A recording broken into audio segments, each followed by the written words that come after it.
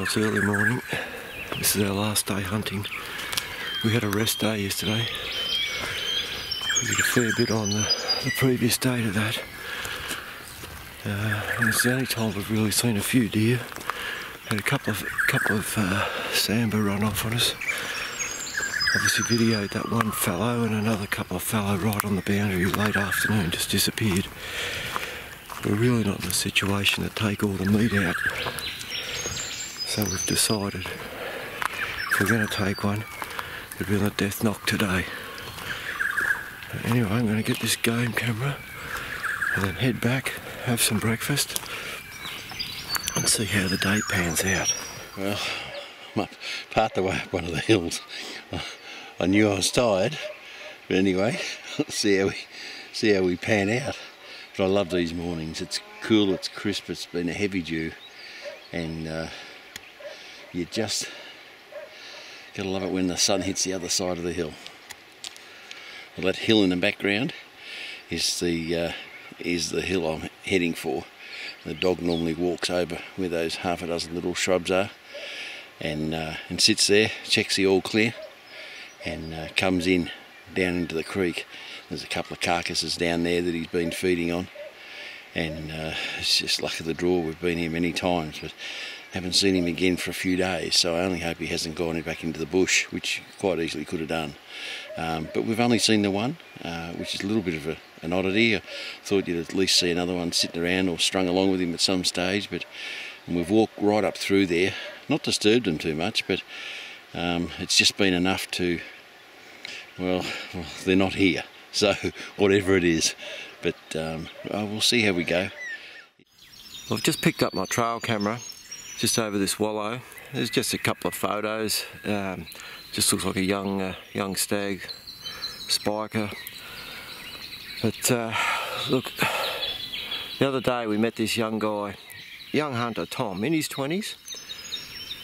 Come up, introduced himself, top young bloke. If all young hunters were like him, it'd be just fantastic. We had a good chat, got along like a house on fire. He was coming up after a few months to check his game camera. We spoke to him later that day, what did he tell us? He couldn't find it, someone had knocked it off. Now for anyone that does this, and if it's a fellow hunter, I just do not understand it. Seriously, anyone that wants to do that, just get a life us hunters have enough trouble looking after ourselves. To go in and steal someone's camera, I don't really understand what you think you're going to get from it. Well, I've just been on the radio to Steve. He's um, got that spiker back on his camera again. He just went and picked up his trail cam, and uh, he's heading back soon. So uh, yeah, well, we'll see what happens. It, um, we um, We'll go out later on this afternoon uh, and just sit on the hill. If we get a chance, we know there's a few fallow over the back of this hill where this dog comes from. So I'm, I'm really tempted not to uh, string up over the hill because I don't want to spoil anything for later on. But uh, I'd love to see this dog come over this bloody hill. I've I've ranged about 20 spots, um, and uh, oh, he's just in strife if he can uh, if he can just make his way over the hill, if he can just put in the effort, it'll be the last time he gets over that hill. After this morning's walk, I'm just heading back now. I actually just bumped a, I think I could have bumped that spiker that uh, I caught on the game camera. Wasn't going to shoot anyway, it's too far in. But uh, this afternoon might be a different scenario. We might just sit on the hill. We've got an area where we know the fallow come out. So uh, it's a different matter if we can get in close and get all the meat.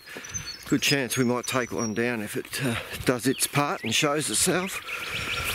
But uh, I'm just walking back along the the fence. Now I don't know if you can see it here, but the triple hot wire is there for a reason.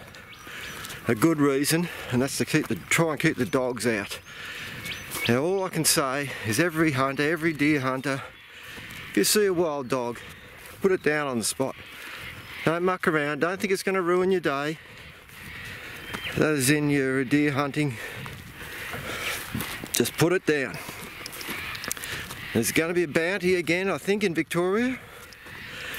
The word was $120, it's good money. But even if there wasn't any money, We need to put them down because they are a massive menace. I know I keep going on about it, but we need to get serious about it.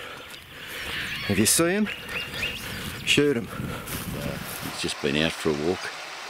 It just goes to show the matter of dedication and passion that the man has.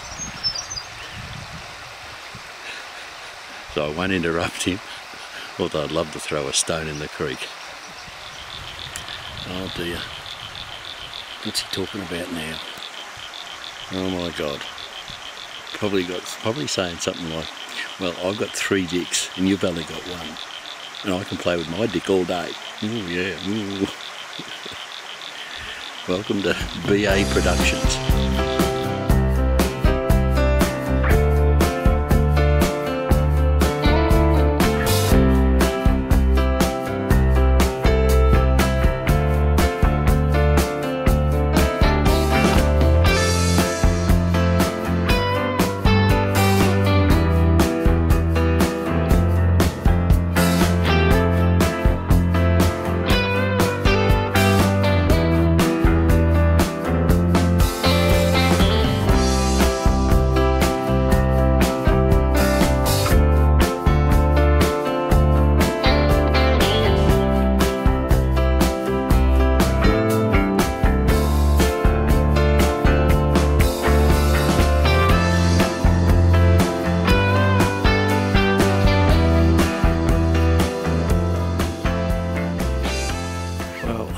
Plan is we really don't have a plan. It's the last day, as we've mentioned. So we're going to get up on top of this ridge, and the whole idea is wait for the sun to hit the hill over here. That way we can look with our binos and the spotting scope into the fringe. Ideally, that dog will show his face for you. Be a bonus. Don't miss, buddy. No pre- pressure. No pressure.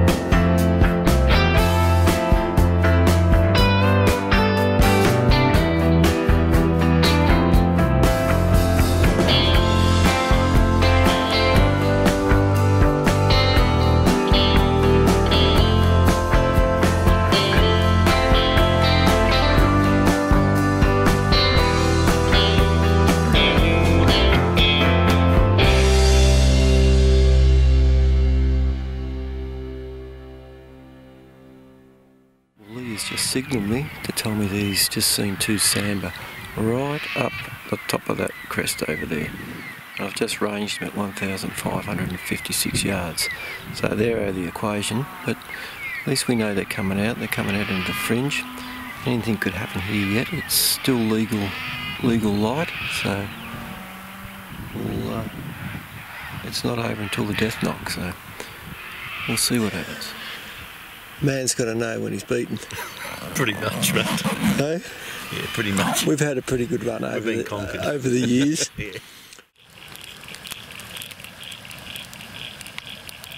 Someone built the fire up a little bit large. We're going to run up. Someone. Well, We had to burn all the wood. We didn't have to burn it all in one go. no, it's not all in one go. There's Well- a bit more to go yet. But I'm just waiting till we get some embers. We're only about we're, we're only about four metres back from the fire. Yeah, that's right. anyway, a week away. Not a bad way to finish it off. Nice cold beer, good fire, good company. Calamari. Calamari, Aldi calamari, which is always fantastic. Yeah. Not a shot fired for a week shooting. No. Week's hunting. No. Armed backpackers we are.